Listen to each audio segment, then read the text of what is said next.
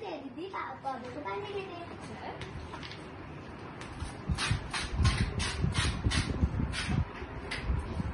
जादू सजन से कोई चल मेरा